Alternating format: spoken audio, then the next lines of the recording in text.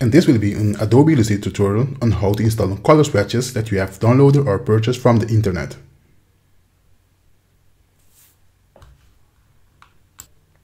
Most of the time the file comes in a zip file, so unzip the file to get the AI file.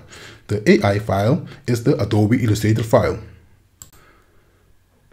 Just open the AI file with Adobe Illustrator. And then go to Windows and hover on the Swatch libraries. And then click on Other Library.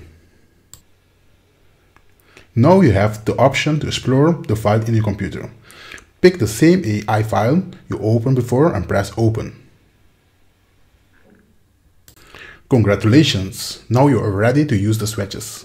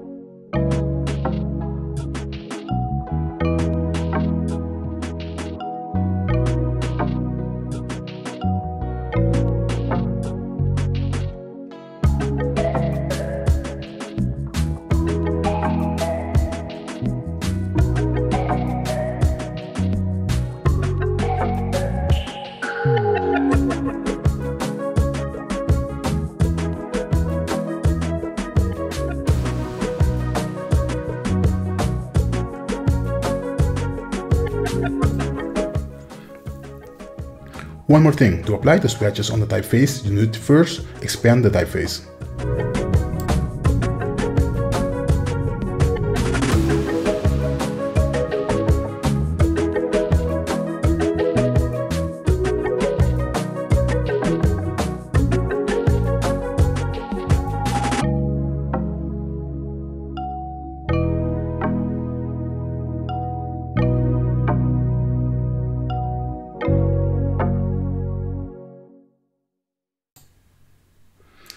If you like the metallic grain I use in this video, there is a link in the video description where you can buy it. Thanks for watching. If you like this tutorial, don't forget to let me know in the comment section below.